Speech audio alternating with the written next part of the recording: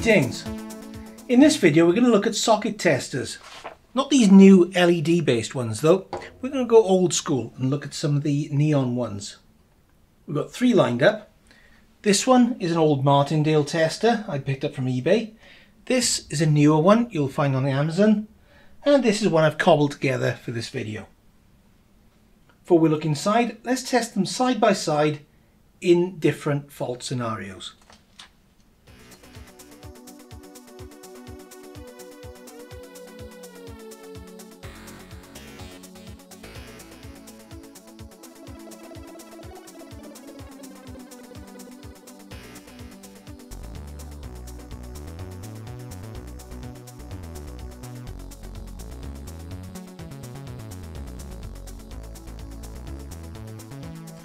As you can see, the homemade and the Martindale ones behave exactly the same way, but the indicators in the one from Amazon behave completely differently.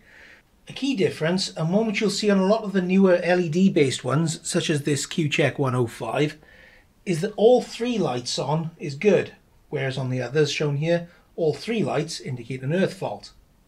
So how do they work? We'll look at the homemade one first, as it's the easiest to understand, not to mention the easiest to take apart. This quality enclosure cost me £2.95 and came with a free mushroom fried rice. All it contains is three neon indicators, each of which has a resistor, and three diodes. If you look at the schematic, you can see it's fairly straightforward. The diodes are there just so it can differentiate between more faults. Without these, you can see that a no neutral fault would actually light all three neons as power could flow from live through lamp 1 and lamp 2 in series. That would mean the tester couldn't tell the difference between a no neutral fault and no earth fault. With the diodes in place, this path is blocked. D2 can also be reversed and it'll still work, but the indicator pattern, as you can see, would then change. So it's a fairly straightforward design to get your head around. You can see the way power flows through it and work out how it's going to act. I made a 4 neon version of this a few years ago for use with the travelling show band. This was built into an old laptop power supply case with an IEC inlet at the end and was much the same design as you see here but had a fourth LED and a higher value resistor you'd normally find in a neon test screwdriver and that went from the earth connection to a bare screw on the case.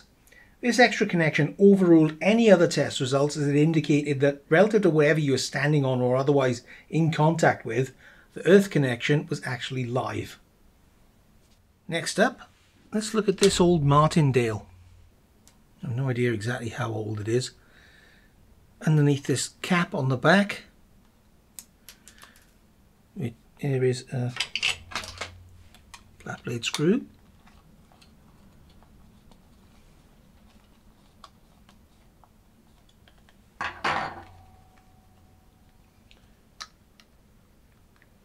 So you see what's inside. Four resistors, no diodes. Let's look around the front. This was glued in place until I pried it off. Behind that we have the label and then behind that we have three neons all connected in series with connections going through to the resistors behind. The schematic shows that instead of each neon having its own resistor, each pair of neons shares a resistor with a fourth one feeding in from the live pin.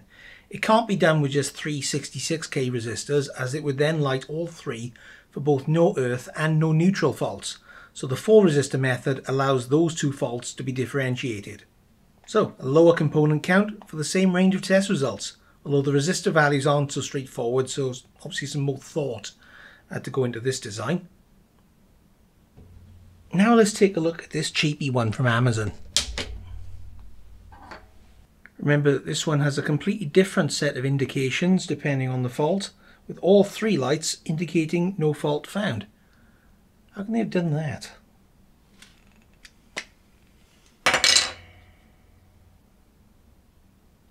Wow. They've done the whole thing with resistors. Lots and lots of different value resistors. There's nothing actually underneath the board at all, just the just the supply pins which screw straight through there. Let's take a look at the schematic. Now the circuit may look quite simple at first, but the more you try to understand it, the trickier it gets because it's basically a mesh of potential dividers with three supply points, each of which could either be live, grounded, floating, or even center tapped. Let's take point D for example. If the socket's wired normally, this has got two 33k resistors in parallel pulling it down, and a 33 and a 39k resistor pulling it up. From that, it's relatively easy to calculate the voltage that should be found at point D, which you then got to use to calculate the voltage at point B, B being important as this is the voltage across the neon, at least until the neon strikes, more on that later. But D is effectively a high resistance supply, the 33k and 39k potential divider between this and the 240 volt supply is pulling them up, so it's going to be higher than zero. You can calculate it if neutral and earth are connected properly as they're both tied together further along the incoming supply line. You can also calculate that if Earth is disconnected, as R2 is the bottom end of the divider, and R4, 5, 8 in parallel with R3 and R7 make up the top end. But what if you want to go even further down the rabbit hole? What if it's connected to a center tap supply, such as 220 volt output in the US, or possibly a generator supply? Now point D is a 33k pull down, 33k pulling up to 120 volts, which would make it 60 volts, but again, its high resistance means it's going to get pulled up further by the potential divider. You can try to calculate the voltages at these various points to try and figure out the potential across each neon for each scenario and determine which ones will light. Unfortunately, these calculations don't take into consideration the voltage drop across the neons once they hit the strike voltage and start pulling things about. Just because someone puts a bunch of formulae in front of you doesn't make them correct. The calculations in this spreadsheet would only be correct if the neons weren't fitted. Here we have a neon with a current limiting resistor. This meter is across the neon itself. This meter is across the entire supply and the variac is controlling them all. And you'll see as I dial it up, the voltages go up in step until the neon strikes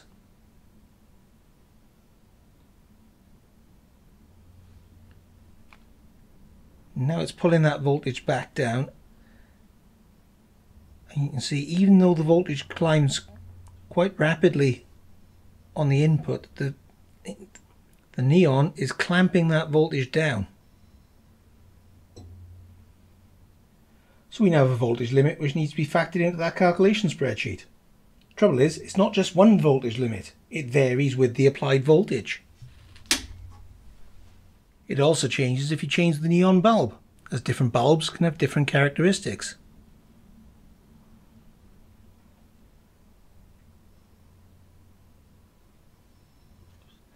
This means that the spreadsheet, although very detailed, isn't up to the job.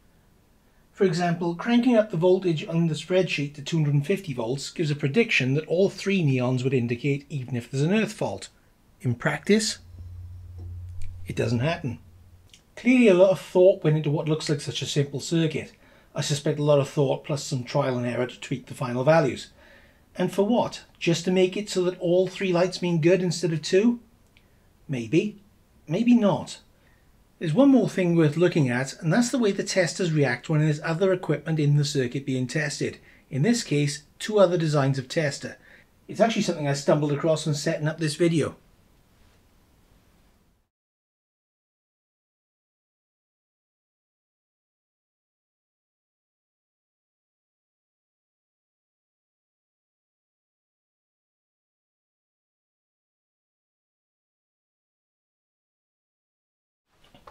As you can see, the two simpler designs misinterpret a missing neutral fault. The Martindale thinks that live and earth are reversed. The homemade one thinks it's an earth fault. Remove the Amazon one, and the homemade one now thinks everything's okay. It's only when the Martindale is removed as well does it show the correct fault. Obviously these are very odd devices to have plugged into the circuit, but it just goes to show how other equipment can have an effect on the results. Even something as simple as a neon indicator can cause the tester to throw an incorrect fault code. The one which seems to be immune to this is the cheap tester with the weird resistor network, the one from Amazon. Although even that can have problems if it's in the same circuit as the Q-check. This thinks we've got a live earth reverse fault. This now thinks everything's okay. So, I hope you found at least one bit of that video interesting. My money's on the bit with the neon and the 2 meters, or perhaps that last bit. Anyway, thanks for watching.